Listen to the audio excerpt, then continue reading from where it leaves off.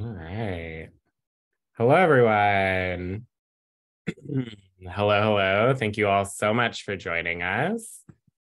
We're going to get started in just a few minutes. We just want to make sure that everyone has enough time to join us because we got a lot of people uh, who are planning on attending tonight. Um, but if the meantime, if while we wait for the room to fill up, if you want to drop in the chat and let us know where you're joining from, we always like to hear that. Mm, you can let us know where you're joining from or how you heard about the event. That's always uh, personally useful for me.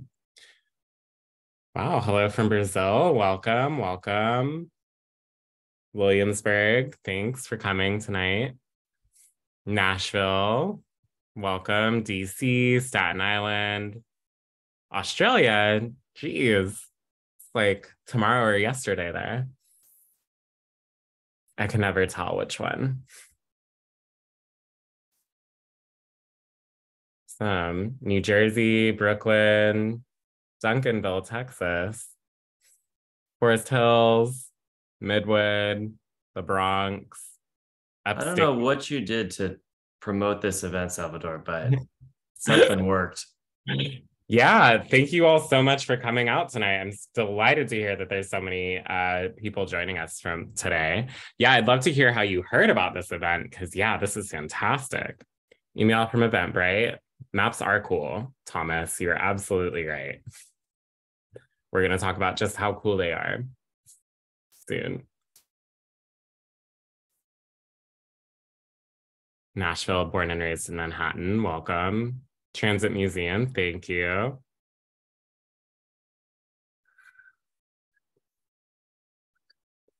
Wonderful. Seems like a good mix of um, Transit Museum and Poster House fans. We love to see that. Salvador, Poster House and the Transit Museum are a winning combination. I couldn't agree more. I like to hear that.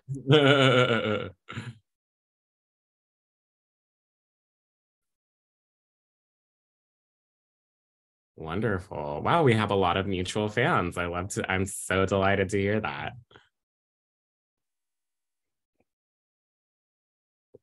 Again, because this event was so popular, we're going to give it just a few more minutes before we get started.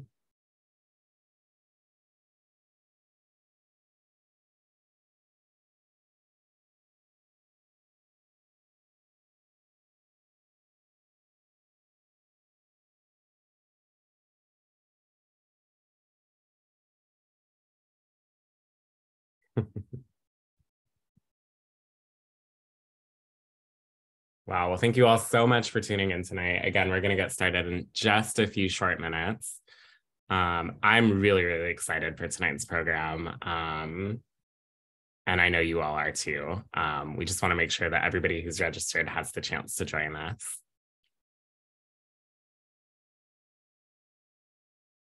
Oh, and be sure to set your chat to everyone so that everyone can see um, your comments and I don't look like I'm just talking to myself or making up these locations. I so Sal- Salvador, I have to tell you that some of the people who have outed themselves in the chat are uh, map experts. And so if I make a mistake, you are definitely going to hear about it. Uh oh. no pressure though. no mistakes, just learning opportunities. That's a good way to look at it.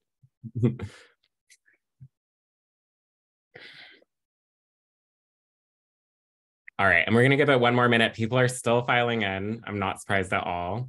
Uh, very popular tonight. Um, and we're gonna get started in just one minute.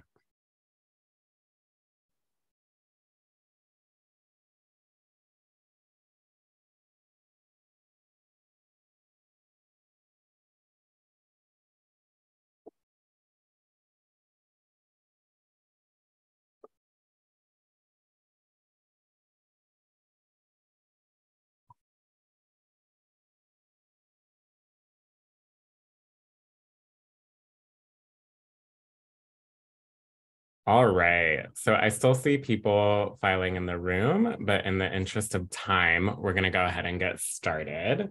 Um, so I'm going to go ahead and kick us off, and then I'm going to hand it over to our brilliant panelists who are the people that you are here to see. Uh, so, hello and good evening, everyone. Thank you all so much for joining us. My name is Salvador Munoz, and I'm the Associate Director of Public Programs and Outreach at Poster House, which is, of course, the first and only museum in the United States dedicated to the art and history of the poster.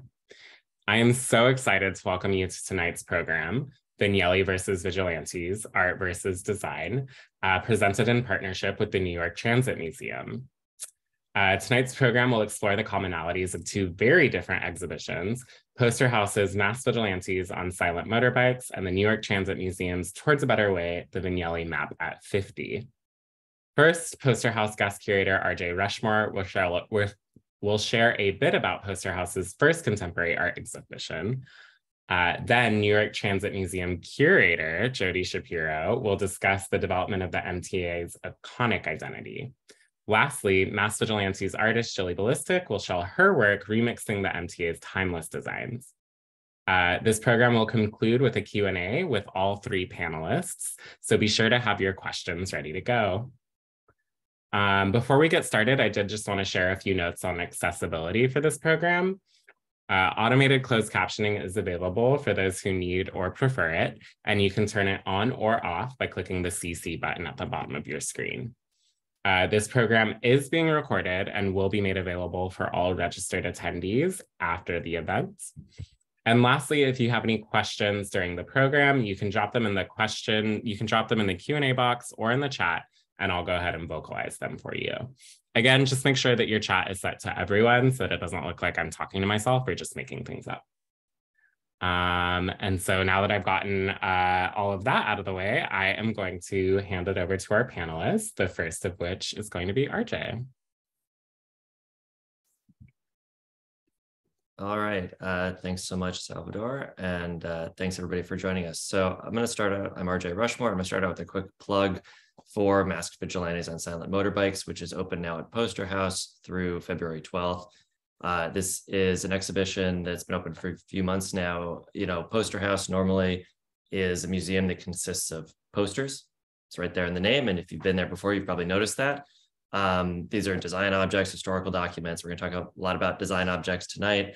Um, Masked Vigilantes is a bit different in that it's not just an exhibition of posters, but posters as art or as design objects, but of artists who have uh, taken, found, and modified posters for any number of reasons. And we'll get into some of that tonight. So, really, work that speaks to, uh, by repurposing the work, really speaks to the poster's ability to communicate with society and be a symbol for, or be be touchstones for for society. So, and mass culture. So, uh, so one of the docents at Poster House put this really well. They said uh, posters typically present uh, a clear statement, or maybe they demand a specific action. You know, buy this watch, whatever. Uh, posters provide answers. Art asks questions. So we're going to start tonight by looking at some art. Um, and I'll say my background is in street art, graffiti, public arts. We're going to talk a little bit about some exhibitions, objects that are in the exhibition, but also uh, the relationship between those objects and public space. Um, very quickly, uh, this is, uh, well, let's start with why we want to intervene in the subway. Now, Jilly, this is a work by Jilly Ballistic, who will, this is the piece that she had, they have in Poster House, and I'm sure Jilly will speak more to it. Uh, but when you think about this piece here, we have a, a poster from the MTA, and you could imagine Jilly intervening on this piece with with these these archival photographs and putting it back up on the streets in the subway. Right now, why do this? Why work with materials from the subway system? Um, I'll let Jilly explain why they work with those materials, but more broadly, first of all, subway is a public space that the whole city interacts with. So artists, you know, they want attention, right? Um, why not interact in that space? Um, additionally, like let's face it, the MTA's graphics are really iconic, and we're going to hear a lot more about that uh, tonight. But the uh, you know as an artist you want to draw potentially from existing mass culture because you can it's easily identifiable and then suddenly okay now i can i can start at this starting point of um, this image that everybody recognizes put my twist on it and now suddenly people are paying attention to my thing, right? I mean, it's an oversimplification, and it sounds maybe a bit uh, a bit self-centered, but maybe it is a bit self-centered.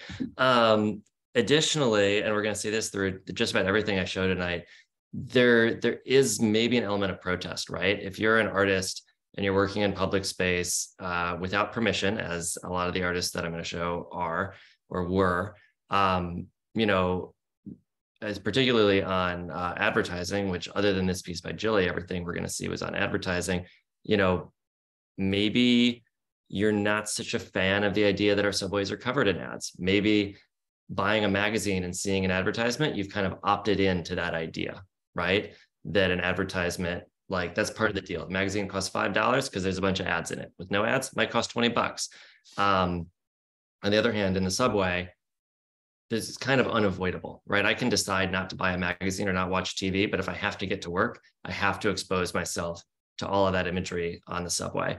Um, and so many of the artists I'm about to show you are using art to draw attention to that. Uh, it's called a situation. They might call it a problem. And I'll let, I'll again, I'll let Jilly speak to that uh, as an artist who does that kind of work. Um, so one of the artists that that we'll see and you'll see in Masked Vigilantes, this guy Michael DeFeo. Um, so start start here. This is a, this is a piece that is in Masked Vigilantes, is in Poster House right now. Uh, this is a piece. It's a it's a bus shelter advertisement that Michael took, and he uh, has painted on it these these flowers. It was an ad for Miss Dior perfume, and if you look very closely, you'll still be able to see the perfume bottle sort of uh, in the center, just sort of you can sort of see Natalie Portman's hands holding this obscured perfume bottle, but he's painted all these flowers on it. And this particular work was always intended to be in a gallery setting. Um, but uh, you know, it no it no longer looks or feels like an ad, right? It really Michael has inserted Natalie Portman into into his world and responded to the ad too, right? He's pulling these pinks out of the ad. He's responding to sort of these flowery vines or weaving up uh, Portman's face. It's not totally random flowers, but um, it's a beautiful painting. But like, why, right? Like, why borrow these subway ads? Well, Michael started this series by actually painting on the ads and installing them back on the street. Um, and so this was this was not in New York. This was in Amsterdam, but you can imagine a similar thing in bus shelter ads in New York City. And you know, again, he's he's he has this world of Michael draws a lot of flowers. He's known as the flower guy, um, and he's he's bringing the advertisements into his world, and at the same time obscuring the products. Imagine walking down the street and rather than being sold a very expensive perfume, you just have this beautiful flowery scene, right? But it's still, it is very beautiful. Like the fashion ads, the photography is worth appreciating, right? And so he's maybe proposing a different way that we can use our public spaces um, that might be more pleasant for some of us, let's say. Um, another artist here is maybe a little more aggressive, a little more uh, anti-advertising uh, Caroline Caldwell. Uh, I should say that um, with Masked Vigilantes, the show is split into a few sections. Addition, something like Michael or Jilly, where they're adding work, uh, you know, painting or collaging on top of an existing ad. Subtraction, which is what we're going to see here, and for I think Caroline and the next artist, and then multiplication, where an artist is kind of remixing multiple found posters. So sorry, I should have said that up top, but Caroline's work, this is an image you might have seen before. It went very viral. Madonna has used it to sell tickets to her tour and things like this. AOC has quoted it. Um, this was uh, on a Metro North train, uh, I think about 10 years ago. Uh, the artist took a, a poster, an advertisement that was in the train and flipped it around, drew this, this quote, this, this little aphorism, uh, on the back of uh, whatever the advertisement was. We don't, she doesn't remember what it was, uh, but for whatever it was advertising, and put it back and just took this photo and left. And, you know, she was living up on the Metro North line at the time, just the train kept going, right? And maybe a few people saw that there realistically. 99% of people who've ever seen this saw it in a photograph, but it's an interesting proposition, right? To take these ads, remove them from the, our, our view and maybe propose a different solution.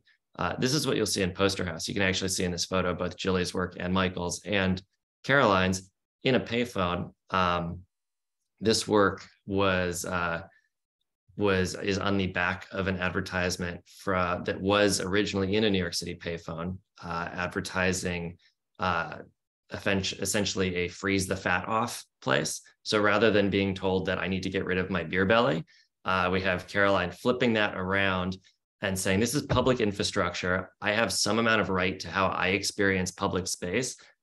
I think public space is interesting and should be, you know, pleasant for people, and putting that in a society quote back back up there. Um, and for those who who can't quite read it, it's uh, the line is in a society that profits from your self doubt. Liking yourself is a rebellious act, um, and I think it's a nice uh, sentiment. And I think it's really interesting to see it in these settings that do feel very official, right? Like that, even that sign, even though it's hand painted with a marker, or or here with the in the payphone with the sort of classic bell uh, payphone structure and and the blue phone text, you know, feels somewhat official, even though it's very clearly not. Um, so I really love that. Um, this is another side of that payphone here. Another side's no bad days. Um, and lastly, in this section, we have Jordan Seiler.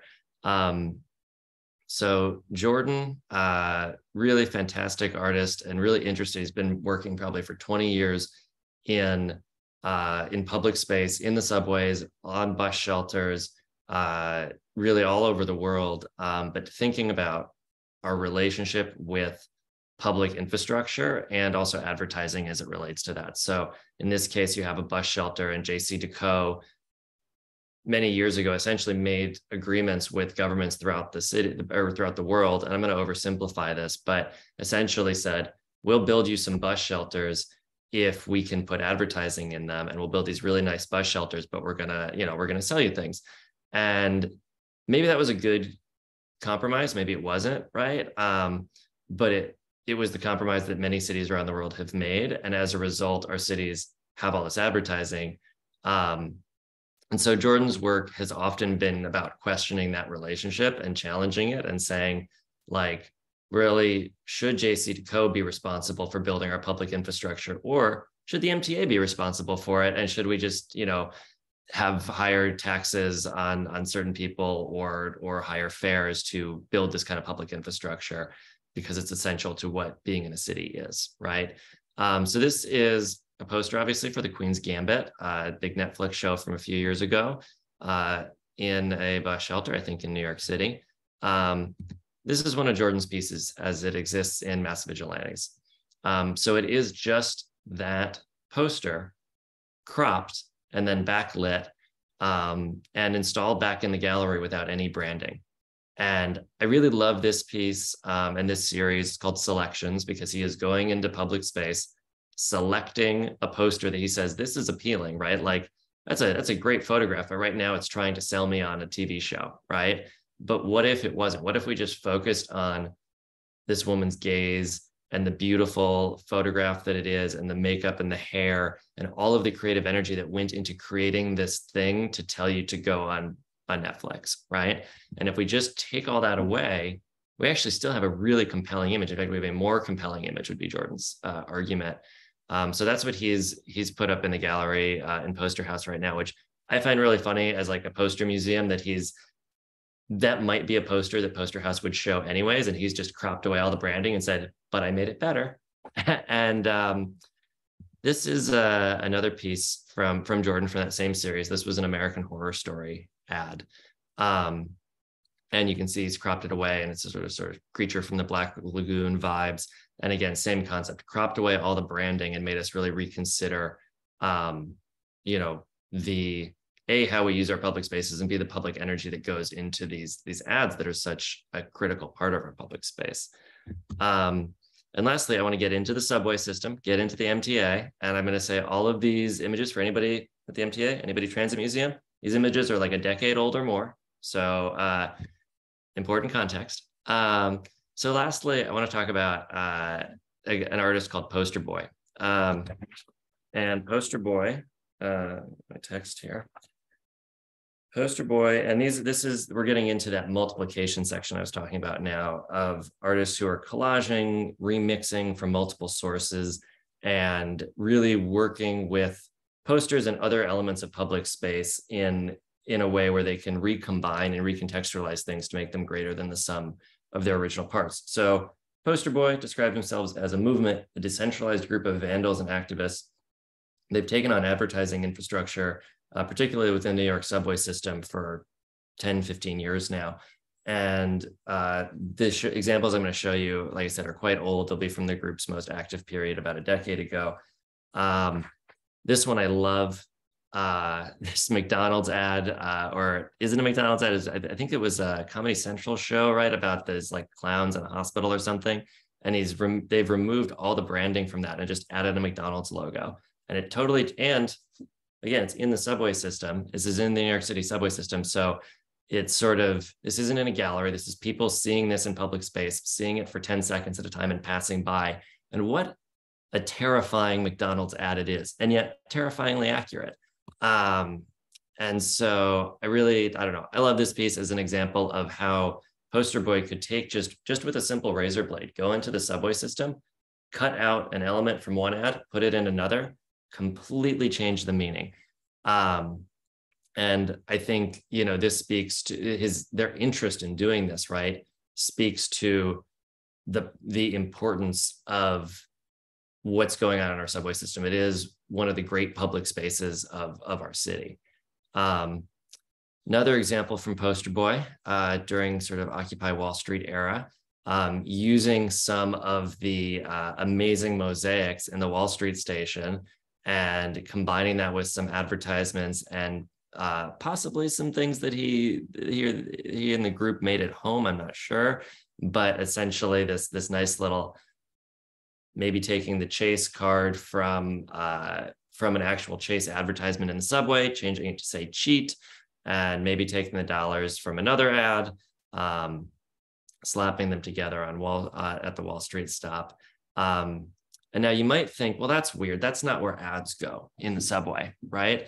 Um, but not all ads in the subway are like these on you know right here on the in the sort of frames right oftentimes you'll find that ads in the subway also end up interacting with um, with the infrastructure that's part of the subway system right with the rest of i mean this ad here for american dad you know you still they still you can see that it kind of goes up to here right below the windows but they still had to cut out this space so that they do not lean on the door section. So here you have really the MTA's graphical language mixing and the architecture of the or the, the architecture, what would you call it? The the the the subway itself, the subway car itself, mixing with this ad, right, for American Dad.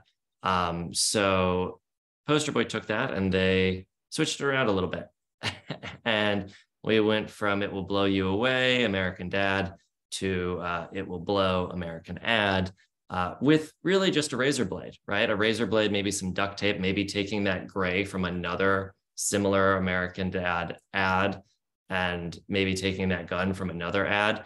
And I love, you know, how this this work and a lot of poster boys work really highlights the violence that exists in a lot of subway advertising that we see um, that you know you don't really think about it and then you realize oh my god i just saw ads for like 10 action movies today and they all had these big guns in them and i'm just trying to get to you know how does that how does that affect you? In the same way that like a beautifully designed you know wall street mosaic maybe improves your day or a, a, an effective map or effective signage is going to improve your day how does seeing 10 ads for an action movie affect your day even subconsciously i think is a question that poster boys work really raises and a lot of people who work in the subway their work really raises i think Jilly's as well.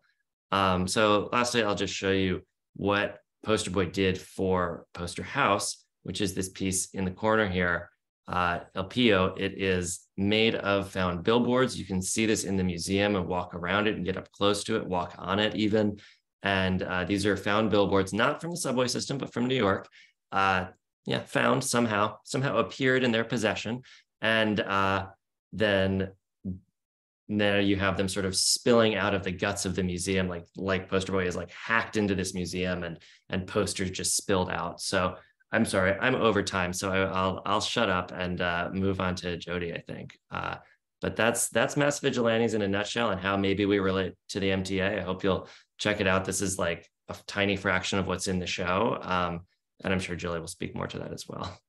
Thanks.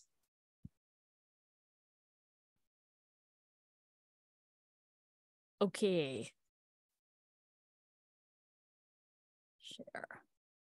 Uh, so that was pretty uh, pretty enlightening, RJ. Um, I I remember the poster boy uh, actions from years ago, and uh, was always pretty intrigued by them while I was commuting to and from work, uh, and and actually wondered who was behind them. So you've you've shed a little light on that, which is pretty good.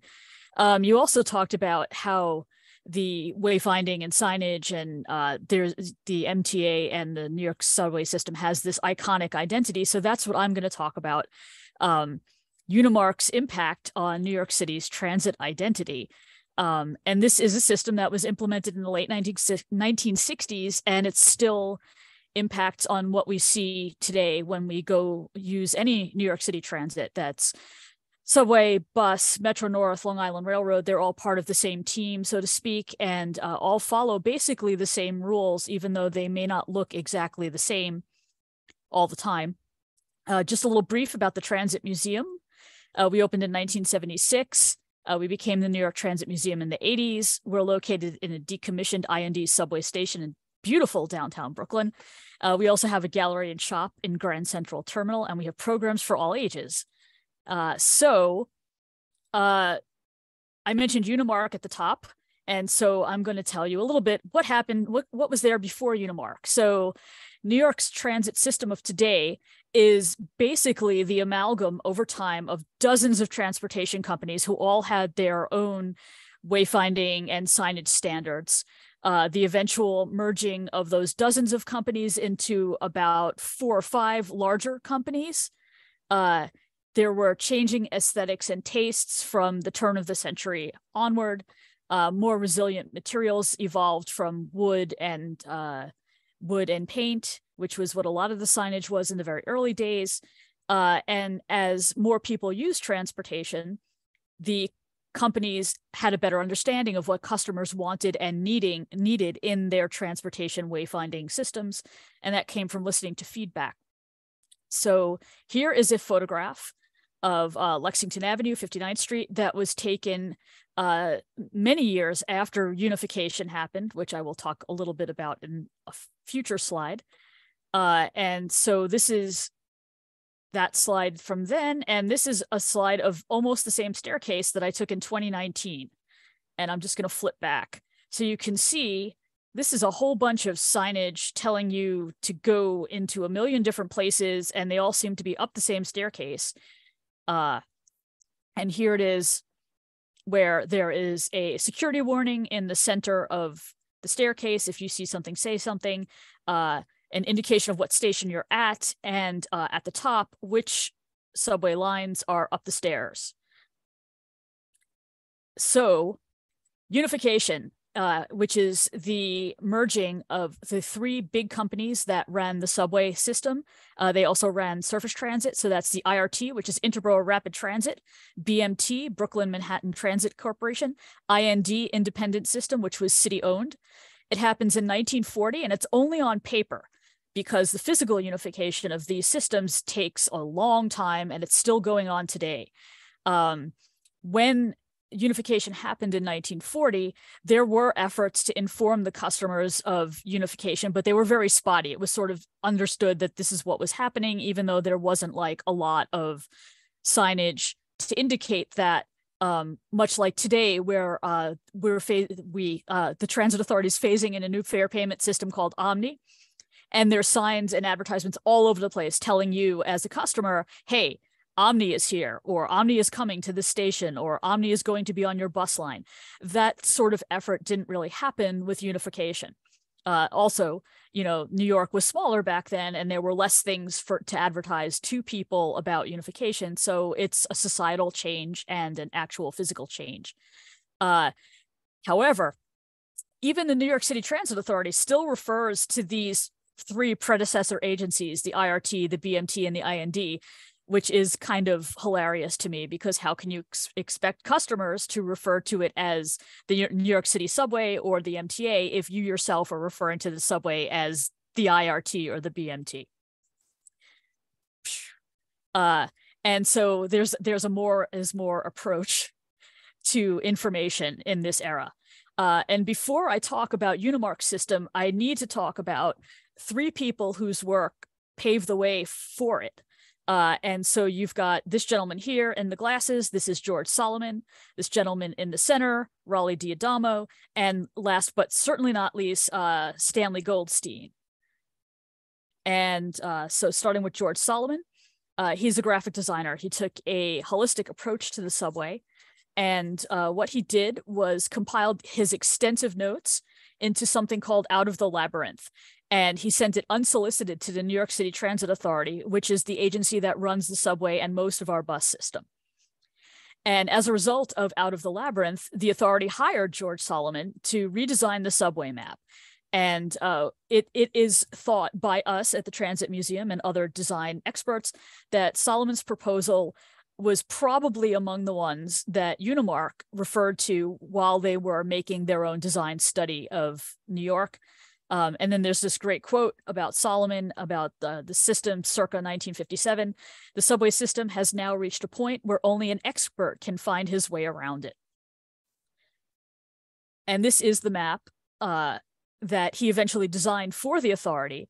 And it is uh, the first map produced in-house by the New York City Transit Authority in 1958, which eliminated editorializing by third parties. Uh, before that, most maps were uh, issued from banks or from hotels and you know their hotel was smack dab in the middle of the graphic field you know points of interest things like that hagstrom and uh, rand mcnally made their own maps this is the first authority issued map so there is no real points of interest it's more like just the facts like here's where you transfer here's the ind here's the bmt he's here's the irt even though unification happened 18 years before they're still referring to these predecessor agencies. Uh, it's uh, the first subway map for New York that uses a Beckian grid uh, named for Harry Beck, who is the draftsman who standardized London Underground's map. Uh, and this resulted in a much clearer and more useful travel aid. Next, we have Raleigh D'Adamo. Uh, and Raleigh is is a character. I've gotten to speak with him many times, and I just love him. Uh, he was a lawyer who entered a contest to improve the subway map in 1964. He was one of four winners. And because he won this contest, he has devoted the rest of his life pretty much to being a transit guru.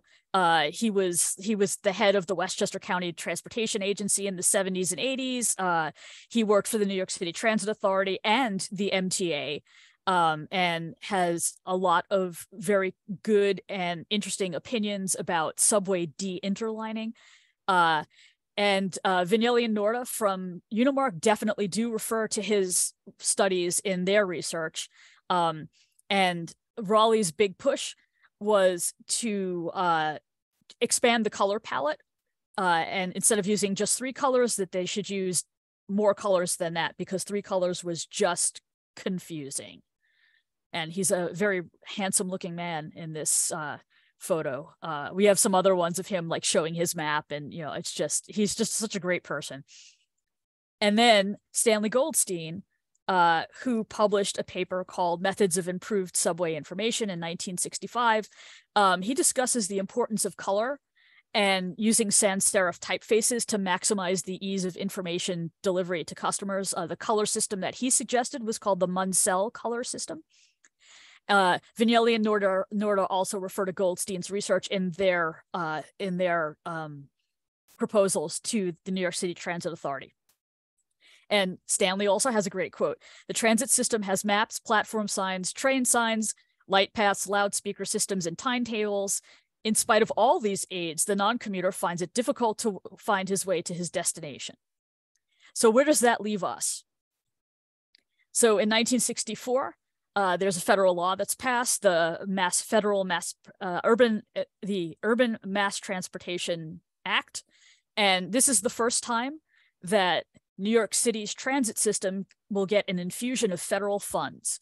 Uh, and so the Metropolitan Commuter Transportation Authority issues this plan in uh, 1968 called a program for action. And it is a multi million dollar, multi year plan to improve the New York City area's transportation system using these federal funds. Uh, and so later, uh, this is this was uh, published in February, and in March of that year, they drop commuter and become the MTA. So, happy birthday MTA in 1968. It's born, and now here the problems begin. So, you've got the imminent for- formation of the MTA. Uh, you've got New York City Transit Authority, who runs the subways and buses, like I said. They have some major construction projects that are going to dramatically change the subway system beginning in like 1966, 1967. And the confluence of these two events requires a holistic approach needed needed to be taken for so many disparate parts of our transportation system that some new wayfinding needed to be uh, devised. And so Unimark International is hired to devise this wayfinding system in 1966. And uh, so lots of you might be familiar with this book.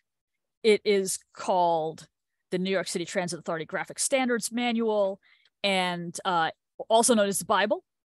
Uh, it not only codified what signage would look like, but how it was going to be constructed, where it would be placed, and uh, there's a great quote in here that says the passenger will be given the information or direction only at the point of decision, never before, never after.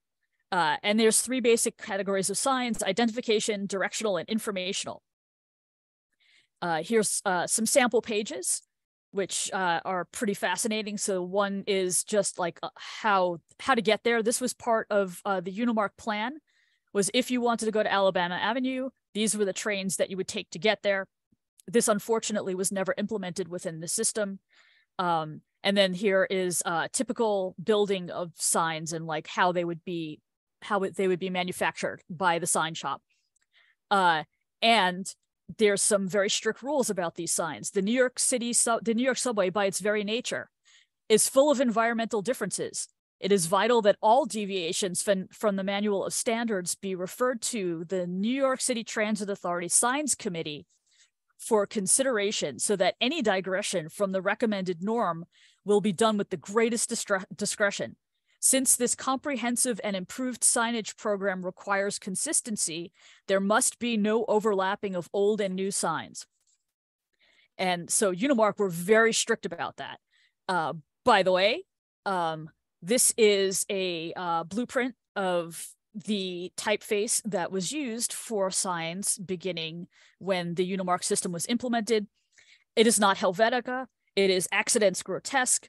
Uh, Helvetica was not used at the outset of this new wayfinding system because Unimark felt that Helvetica was not 100% effective for transportation signage. Uh, due to some optical issues with kerning and with uh, some of the X heights and negative space between the letters which made it confusing at a distance. This is the quote from the standards manual.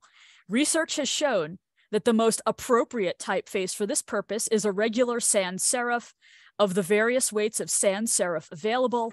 Standard medium has been found to offer the easiest legibility from any angle, whether the passenger is standing, walking, or riding. So as more digital sign making tools adopted the similar looking Helvetica as uh, it became the replacement for standard. Um, and so uh, Helvetica became the official typeface of the New York City subway in 1989. But you can still find standard signs. Uh, you can still find uh, standard signs in the system if you look carefully.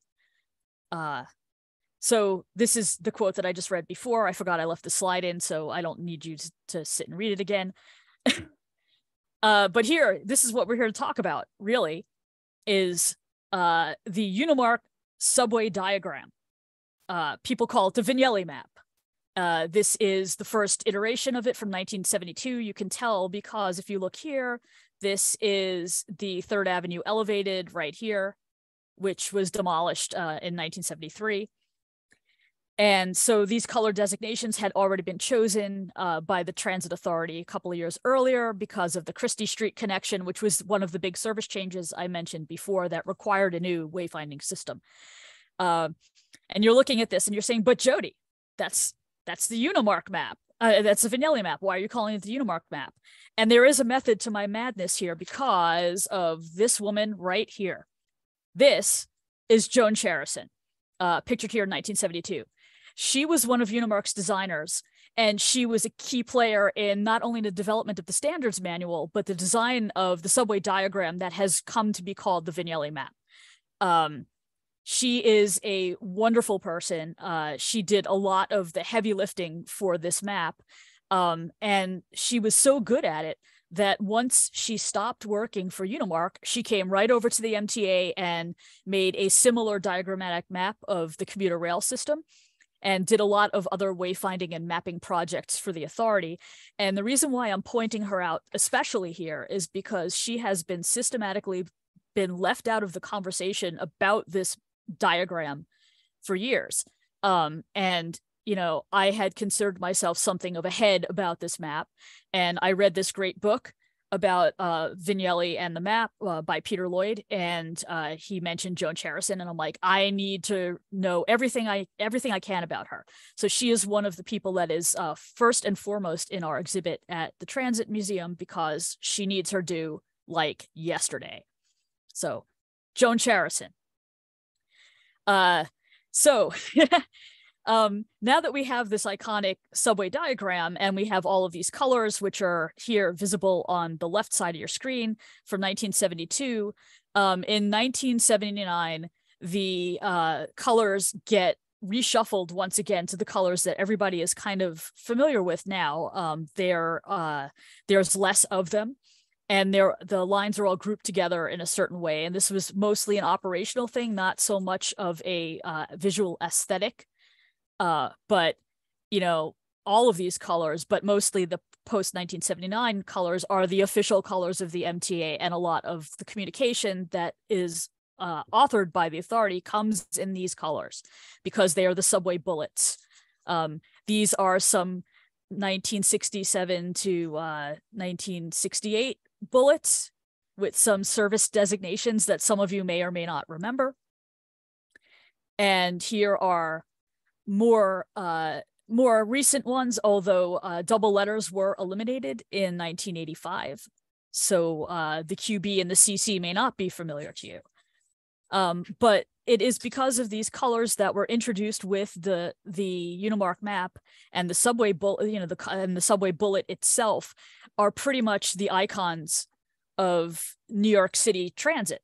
Uh, the effectiveness of this system it stands the test of time uh, and technology, and it's just as iconic as the subway token. And you know, I've used the word iconic a lot, but whenever you show somebody a subway bullet, even if it has a designation in it that is not an actual subway line, people immediately think New York City. And that's, you know, that's kind of incredible that, you know, some people in 1966 cooked this up. Um, so these colors get used in communications, like I said, and um, in, in informational signage and all of that. And uh, some of that informational signage has been remixed by Jilly Ballistic. So I'm going to kick it over to Jilly right now uh, once I figure out how to stop sharing. Thanks, Jodi. The perfect timing. They're shutting the lights on me. What's going on? Uh, thank you. That was incredible. That was a huge wealth of knowledge. That was amazing. Great job. Uh, RJ, great job as well. That was incredible. Uh, Salvador, thanks for introducing all of us uh, earlier. Uh, yeah, I thought I'd you know, take a few minutes uh, on this portion to um, bring the artist's point of view. Uh, so I'm going to take a few minutes to introduce myself, who I am, what I do, how I do it, uh, and why of all places I've chosen to uh, use the subway to make my interventions. Um, so uh, yes, I'm Jilly Ballistic, and for the past 12 years or so, I've been uh, pasting printed images uh, to site-specific areas within the New York City subway system. Uh, that includes platforms, inside train cars, on seats, advertisements, walls, vending machines. Uh, if it's down there, uh, it's game. You could you could work with it. So I'm going to share my screen here just to give you an idea if you're not familiar. All right, there we go. So let me pull up one piece.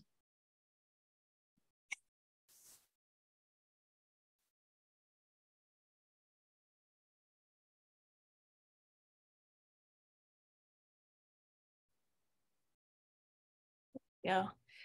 So as you can tell, uh, my signature is the gas mask. And there's a few reasons why uh, this object eventually came to be so. Uh, but what I want to do is actually start from the beginning because it didn't just happen overnight. um, way, way back in 2010, uh, I was a short story writer, and I still consider myself a writer. Uh, and at that time, I had several books that I had self published under my pen name. And because I'm weird, uh, I literally printed and bound each book myself. I didn't want an agent, I didn't want a publishing house. Um, I just wanted to be an independent writer. And I wanted to go about promoting the work in a way that was more unconventional. So I did what any sensible uh, born and raised New Yorker would do in their 20s, uh, and I chose graffiti. um, hold on one second. Sorry, sorry about that. Um, I'll just pull this up.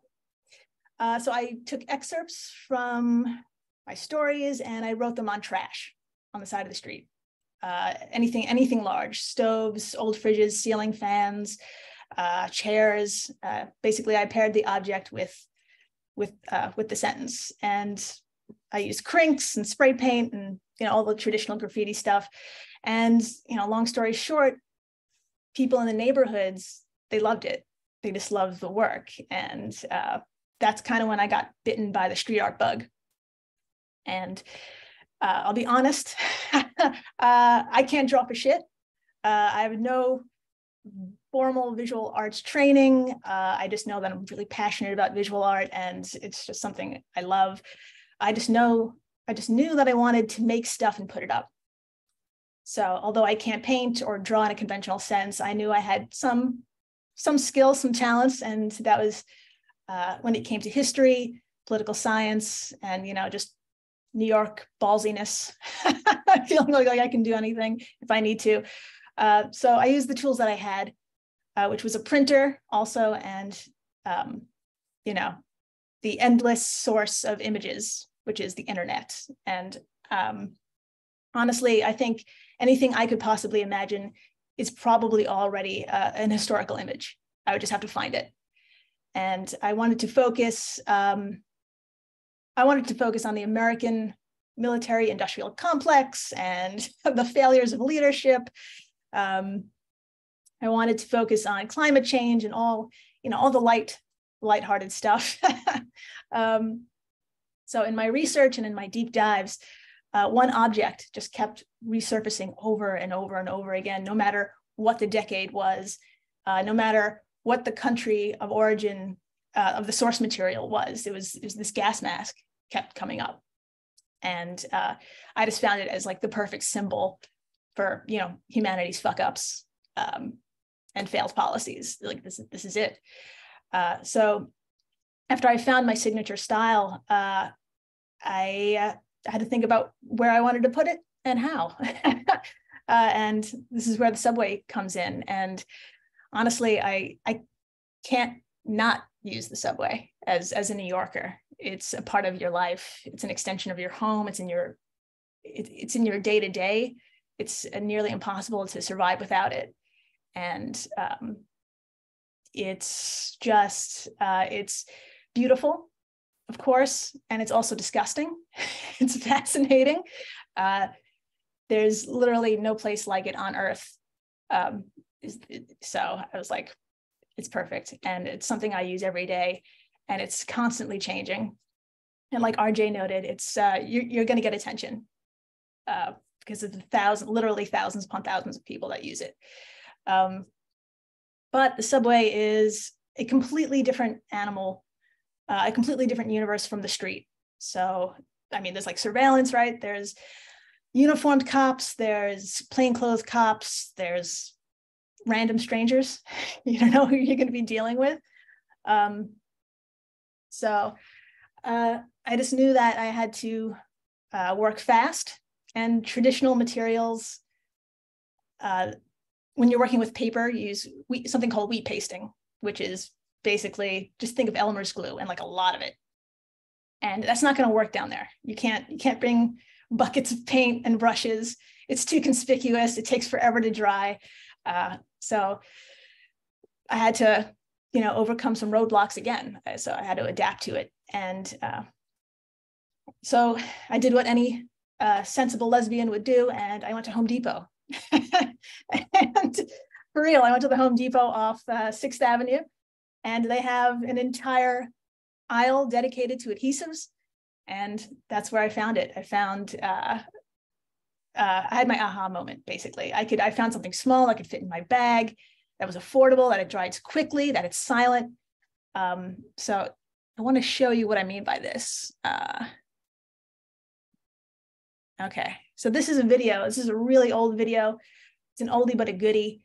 Um, it shows just how quickly I had to work uh, and what I used.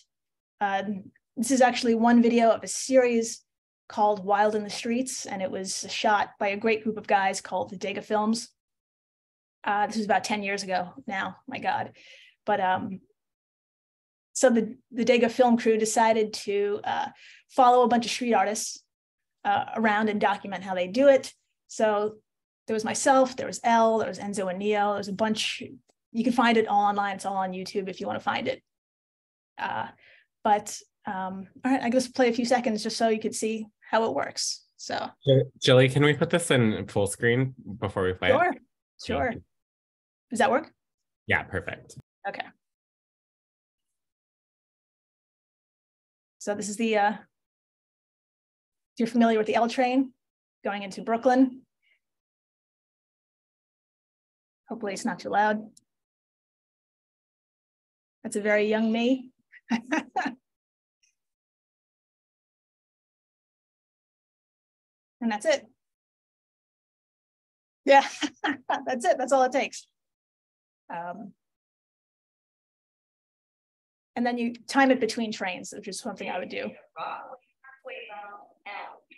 This is very dramatic opening my apartment in Greenpoint. Oh my God, badass, whatever, blah.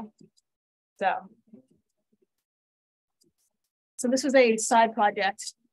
Um, this which is the policy advisories. Uh, this is something maybe Jodi's familiar with, where um, 10 years ago, this is what the announcements would look like on uh, platforms if there was going to be a change in um, uh, in any type of service. So at the time, it was like this blue beige color. So I kind of borrowed that, and then I um, up gave a modern take on old idioms and wise sayings. So this was in the future, everyone will be famous for 15 megabytes. And there was one where uh, what doesn't kill you will most likely try again. It was just like something like that, like a modern twist on um, old sayings. So there you go.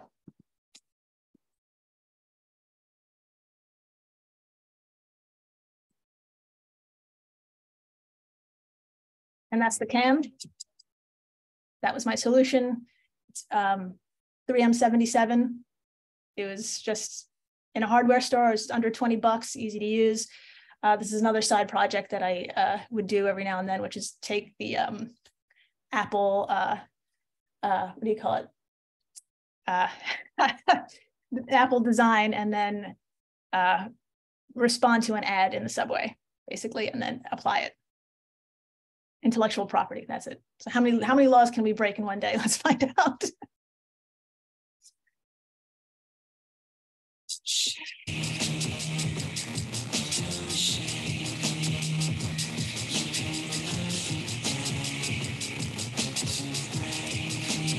So you put up like a dozen small pieces. Uh, I love these little these little plaques. They're about they're about 12 inches wide. But you get the idea. Spray the back, put it up, and just walk away, basically. So, all right. Uh, yeah, so that's pretty, pretty much how it went for about 12 years. um, yeah, uh, with that little can, uh, just commuting, just by commuting to my job, to wherever, um, I just stumble upon some architecture, uh, signage, and that would really just inspire me to want to work with that with that environment. I wanted to work with it. I didn't want to overpower it. I just wanted the piece just to fit seamlessly in. I love the Broadway one. Sorry to interrupt, Julie, but I love that to, to that point exactly, right? Or or this this one as well, right? But like that Broadway piece works because it's that sign, right? Yeah. That doesn't work as well in Bedford. Yeah, that's right. Exactly. Exactly. Um, so yeah, just by commuting, I would I would be inspired. Um, and and the opposite is true. While doing my deep dives, I would find an image and then have that in the back of my mind and see something uh, where I'd like, oh, I know exactly what I could put in this in this spot. You know, like uh, perfect. I know exactly what to use. so, uh, yeah.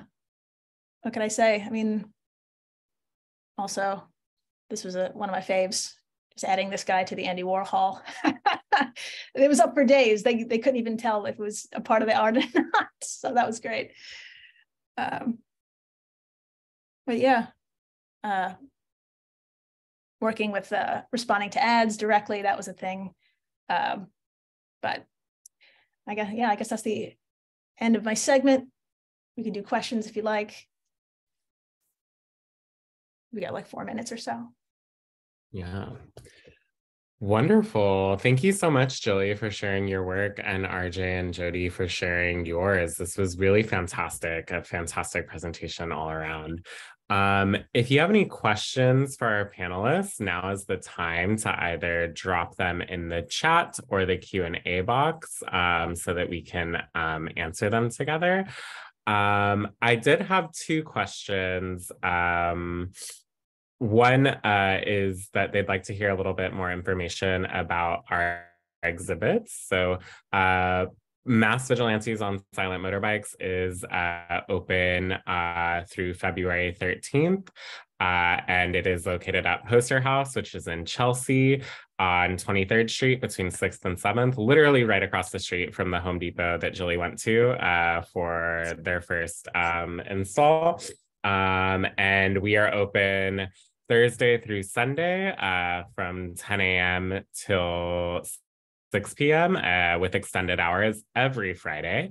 Um, and again, you have until February 13th uh, to see this excellent exhibition. Jodi, do you want to tell them about um, your exhibit? Uh, yeah, so Towards a Better Way is on view at the Brooklyn location of the New York Transit Museum. It's down on the platform where the trains are, so you can't miss it. Uh, we are open also Thursday through Sunday, and I can't remember exactly what our business hours are now. I think it's 10 to 4. Uh, I, I think our public programs manager is in the chat, so she will correct me. Yes, 10 to 4. Um, and yeah, it's uh, it's ongoing. I don't know. It's it's going to be there until they tell me to think of something else to put in that space. So, uh, but uh, it's it's a very small part of uh, the history of wayfinding and maps in the New York City transit system, but it was a really fun part to just pull out and have a deeper dive with. So, and plus, I get to tell people about Joan, which uh, now more people know who she is, which is pretty great. So, so come visit us. Fantastic. Okay, so the questions are rolling in. We are running out of time, but I'm hoping we can get through as many as we can before we have to sign off. Um, first question is When does the artist take on creation of art crossover to be undisputed vandalism? Jill, you want to start that one? I mean, I, I could go on for days. I can answer that question for days. So, um, yeah, it's in the it's in the eye of the beholder how how far it can go uh, you know, I've, I've, I was, I've been arrested for writing three letters on a poster. That was considered enough vandalism to warrant arrest. So, uh, but um, it is in the eye of the beholder, honestly. But uh, what do you have to say, RJ? I mean, are we talking legally or ethically, right? I mean, legally speaking, yeah, you draw a mustache on a on an ad, you're vandalizing it. Ethically speaking, I, I think I get every right to do that. Now we could have a long debate about that. I, so and it can be both, right? Like plenty of things. Just because something is vandalism does not mean that it's.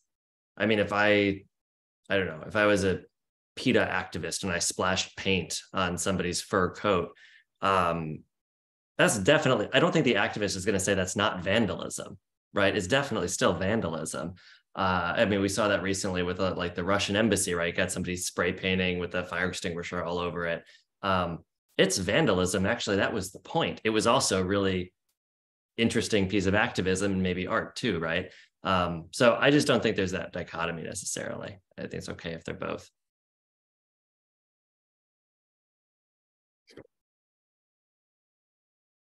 Yeah, great question. Um, let's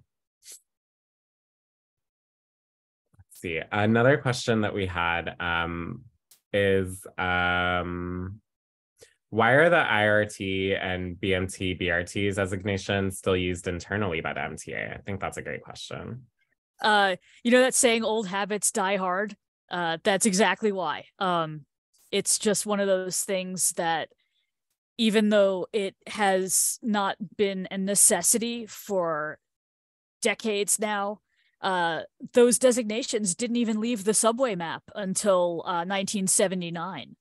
So, you know, if if unification happens in 1940 and you're still seeing it in subway maps and signage until the 70s, like why, why? You know, I remember as a kid, and maybe Jilly does also.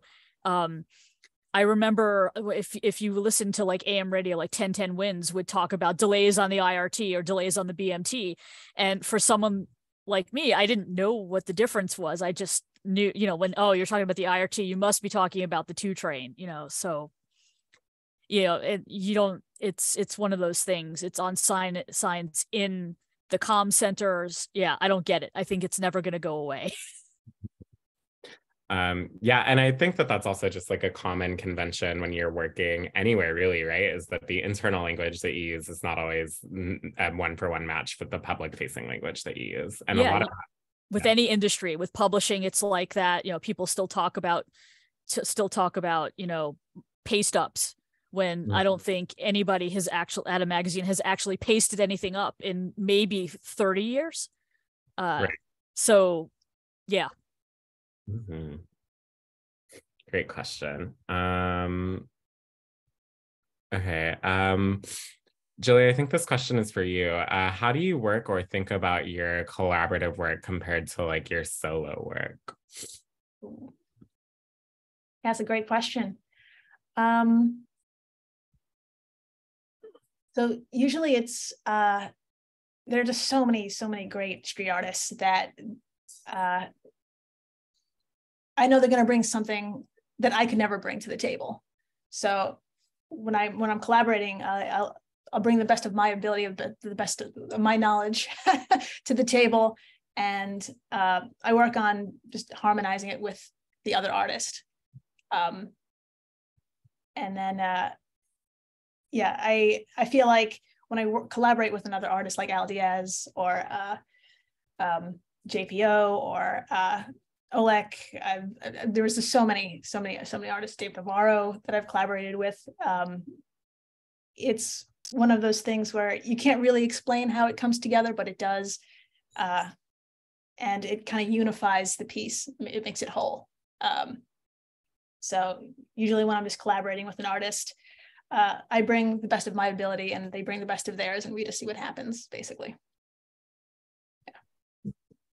Wonderful. What a great way to think of collaborations. I also, I'm curious, um, this is just my own personal question. Um, some of the images that you showed us also had graffiti already on on where you had pasted your work. Um, how much of that was intentional versus just like taking advantage of like the moment? Um, yeah, um, that's definitely one of the motivations to use a space is how it's already decaying, how it's already been, you know, vandalized already.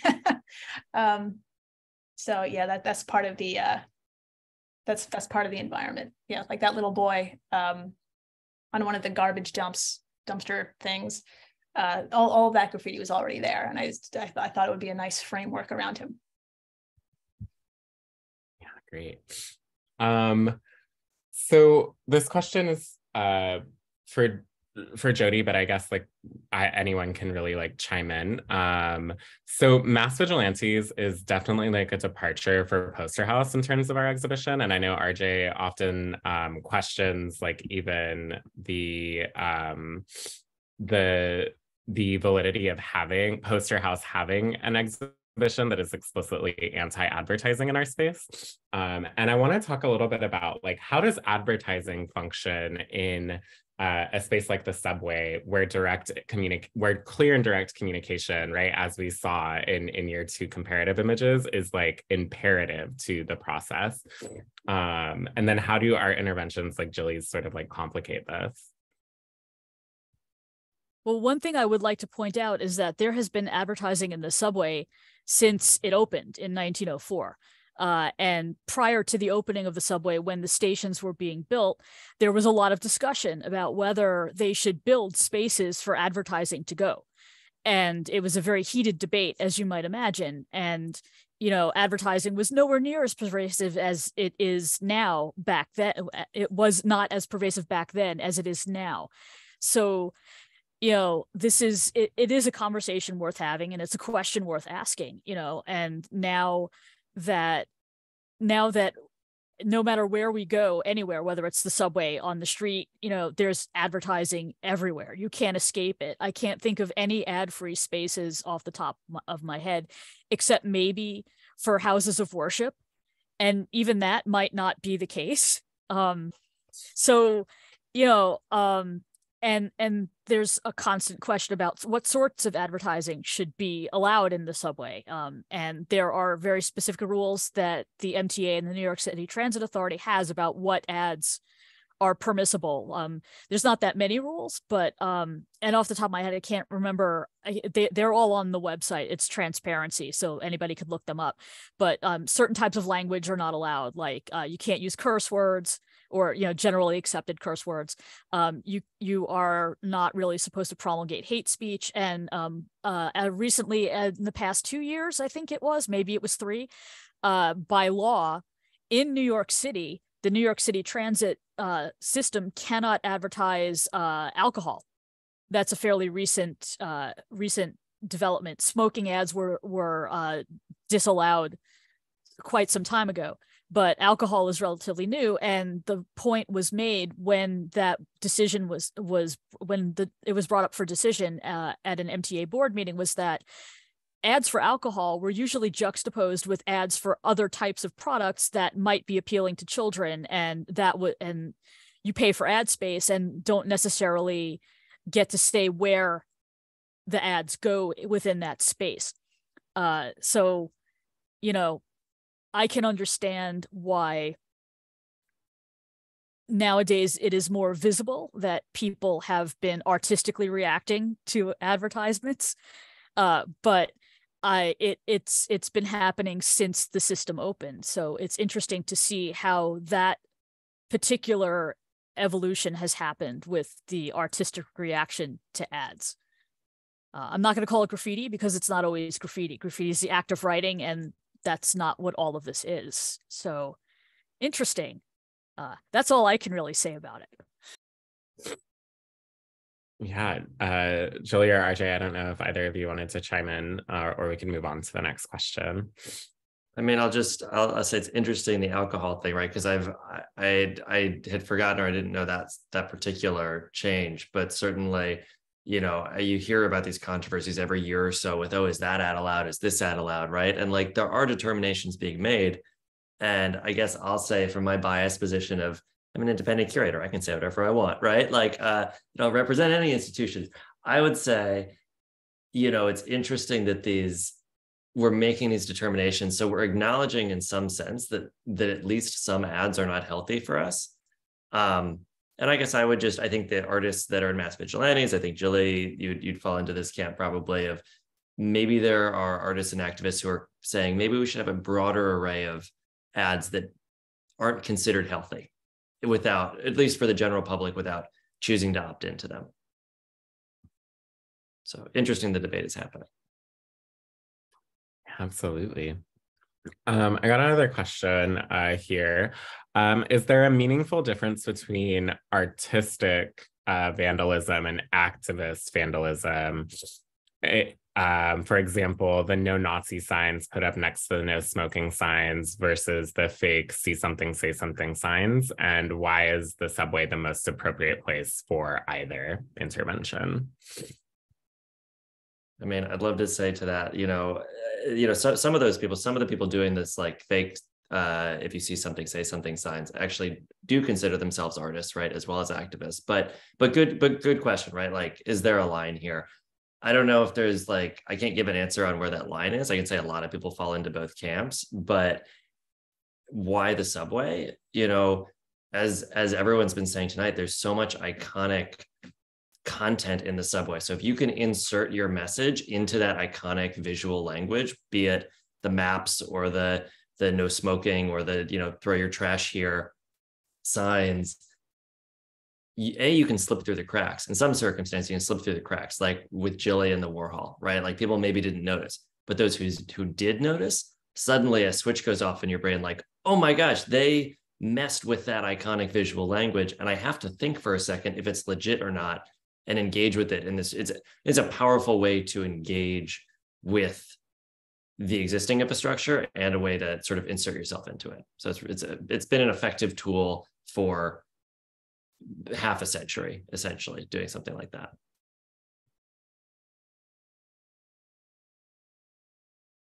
Other thoughts?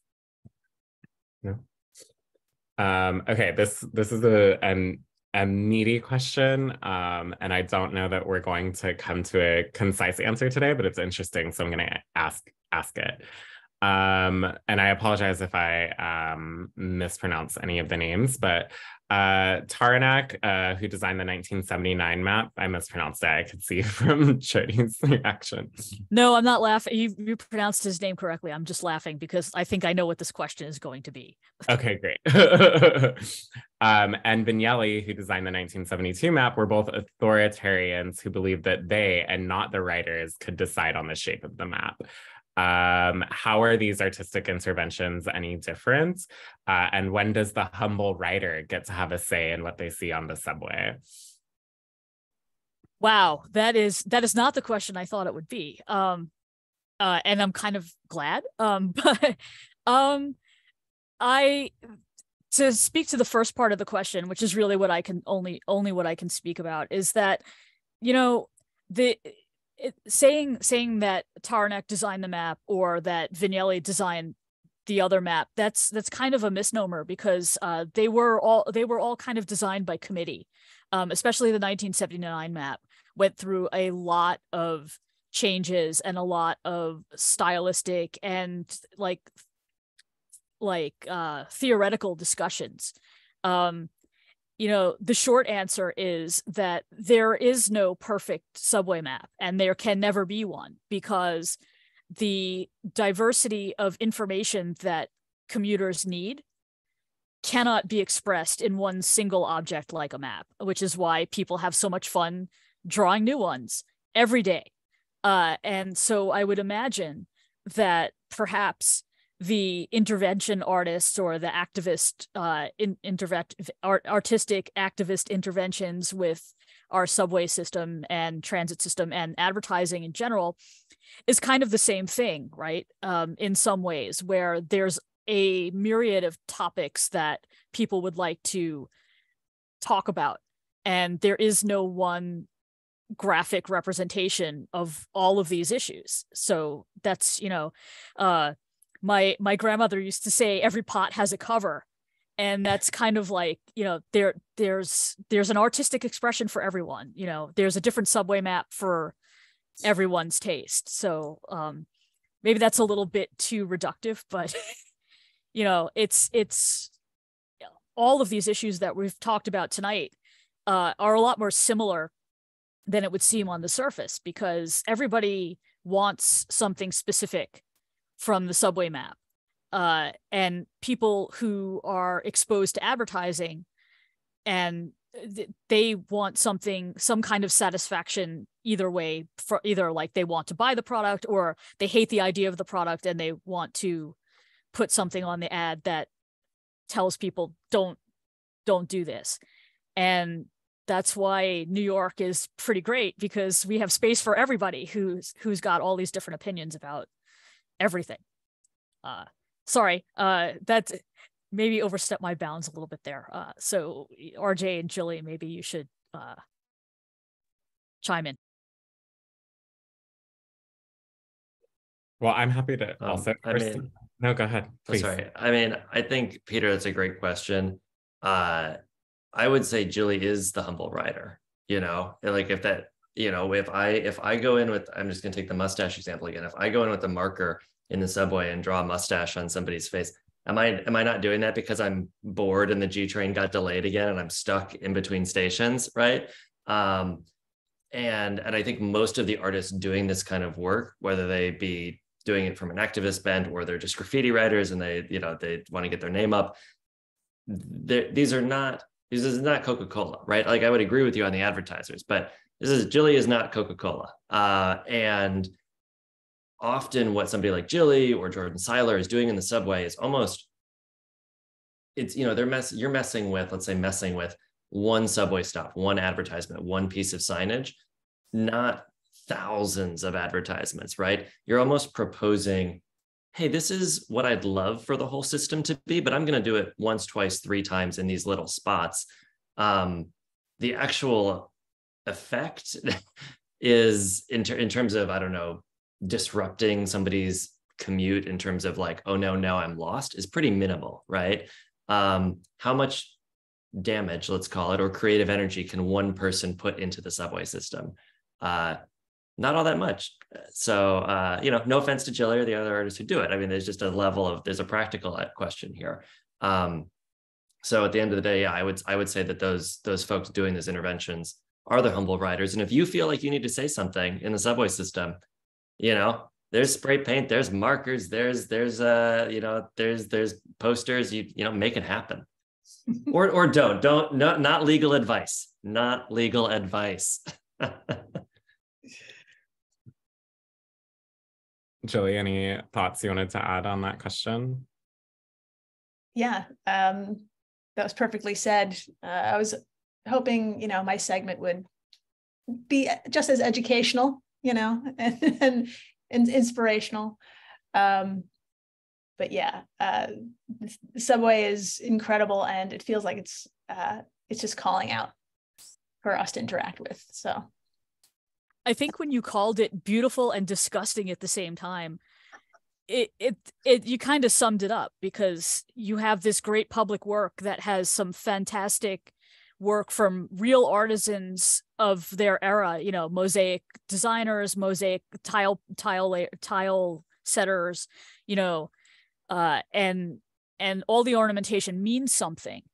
But people today may not realize what the meaning behind some of the ornamentation is because it's from the turn of the 1900s so like that that is kind of lost and it is beautiful but it's also new york is a dirty city mm-hmm. and things get dirty here. And that's that's the dichotomy of new york really. It's beautiful and it's disgusting. And you know and that's why i love i love the work that i do at the new york transit museum is because i get to talk about both sides of it and and hear what other people have to say you know and so thank you for expressing that because that's really that's everything right it's beautiful and disgusting there you go absolutely um, wonderful. So there's just two last questions that I want to be able to get through, and then we can sign off. Thank you uh, to our panelists for staying a little over our time, and thank you to the folks who have stayed on for this Q and A, which is the majority of the folks who've joined this call. Um, so, uh, what are your thoughts on explicit MTA com- collaborations with advertisers, such as like the Supreme Subway card? Um, yeah, although I don't know like the mechanics of how different that is from just like a normal ad buy, but I mean, I thought it was fun. I like as somebody who doesn't like advertising on the subway, I personally was like, yeah, there's like worse ads on the subway. It's weird that everybody's the cat is being annoying, but um it it was I, I didn't get one, but like cool if this gets a bunch of people into the subway, a bunch of hype beasts into the subway who were taking Ubers before that, like sure, fine, right? Like I don't know. I guess did did it did the Supreme ads actually advertise to anybody, right? Or was it really just something that a bunch of Supreme people who already love Supreme went and got their MTA, you know, cards. Know, I don't think that sold any t-shirts, I guess that's what I'm saying. Yeah. Any other thoughts?